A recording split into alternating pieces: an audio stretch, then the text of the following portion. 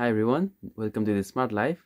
Recently I reviewed this home security camera. This is a Xiaomi IMILab outdoor home security camera and this can do a PTZ of 270 degrees.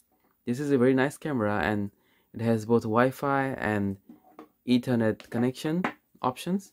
So you can connect to the internet via this uh, two options like the ethernet and the wi-fi so in today's video i'll show you how to connect the camera via the ethernet cable or the lan cable.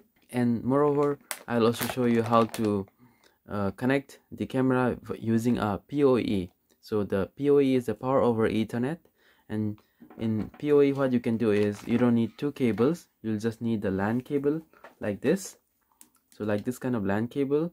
And when you connect to the camera what you can do is using this uh, using this kit you can combine these two connections and connect to the router. So i have the wi-fi router here.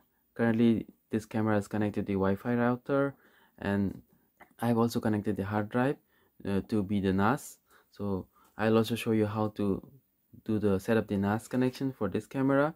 So currently as you can see uh, the camera is connected to the uh, Wi-Fi uh, to this router and I'll show you the uh, multiple options that is available if you connect to the Ethernet.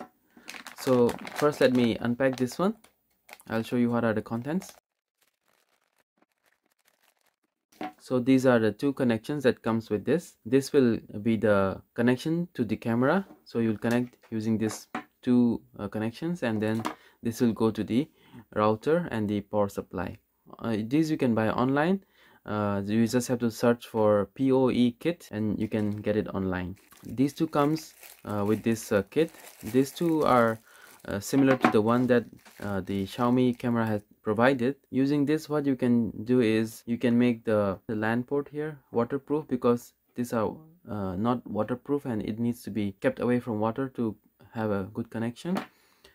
But the problem with these uh, ones that they have provided is that it, it cannot fit these cables. So uh, if you have a new uh, setup where you have you have a just a LAN cable and then you uh, connect to the RJ45 connector using a crimping tool then you can put this through. But currently uh, it is not very user friendly because uh, now I don't have the LAN crimping tool. But uh, in the case of the Xiaomi uh, camera what they have provided is a very user-friendly one. They have a specific cutout and you can put through these uh, uh RJ45 connections uh, and you can make this watertight. But these are going to be useless for me right now. Anyhow I'll show you how to connect to the camera via the PoE so this is the PoE kit. So as I said uh, this will go to the router.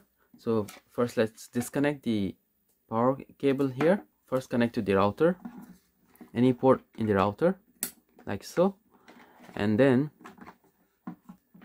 you can plug in the power here. Then you can use the LAN cable. So you can use the LAN cable to connect to the uh, PoE kit here. And then this uh, other end of the LAN cable goes into the connection here. So now what it does is it has a 12 volt power supply here and the data connection here. Here they have combined the uh, power supply. This is the 12 volt supply and this is the data connection. So here they are going to split again. So you can connect uh, to the camera like this and we can connect using this port. So now the camera is uh, going to be powered on. Let's wait for the camera to power on and see how the connection is. Now we have successfully connected the camera using the PoE connection and the Ethernet. So as you can see, the light is blinking here. And you can check the camera here. So it's, it's connected. So now what you can see is you can go to the camera settings. So now you can see the personal hotspot is available. So previously when you use the uh, Wi-Fi connection you cannot use this option. But now with this option what we can do is you can we can use the camera as a hotspot for other cameras or other devices as well. So you can go to this setting and you can set a Wi-Fi name. For example let's set it as the smart life and this is the password. Then we can save it. And once that is saved then you can turn it on so now it's turned on and now we can see that the smart life Wi-Fi is available and we can connect to this Wi-Fi. So now it is connected and we have internet. So now we are connecting this phone to the internet provided by the camera. So that's a very nice feature. Like this you can connect to uh, other cameras like this camera or any other camera for that matter. So this is a very good functionality. And this is what i wanted to show you. So this is a very useful option because you just need to have only one single wire instead of having a power line as well as a LAN cable. So if you don't have the Wi-Fi uh, connectivity or if you have a weak Wi-Fi in your installation location then you have to use a LAN connection like this. So the Ethernet connection and it's very good. And you can also extend this uh, connection using the Wi-Fi hotspot to the other devices. So next what you, I'll show you is uh, since we have the NAS connection here and we already have the connection to the camera we can set up the NAS server. So go to manage storage and then you can go to the NAS network storage. So as it has detected the uh, Xiaomi uh, router NAS so you can select the NAS here. And then if you are using a Xiaomi router you don't need a password because it automatically detects using this app. So there's quite advantages and uh, you can select the location where you want to store the videos. So once that is selected the NAS will be set up.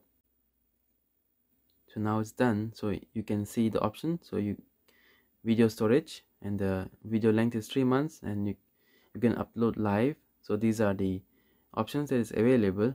And i'm showing this setting not because of the ethernet connection. This also works with the wi-fi connection but some people have inquired whether you, this camera supports the NAS or not. So these are the things that I wanted to share with you. This is just an update of what I have reviewed before and it works very well uh, especially with the PoE it's very easy to install. If you have a very good Wi-Fi to the installation location of the camera then you don't need to use a ethernet cable. They already provided a very long 5 meter power cable and you can try to use that. But in other cases you can try to use the ethernet connection and the power over ethernet uh, option is very good one. And that's it. Thank you for watching. Uh, please consider subscribing. I'll see you next time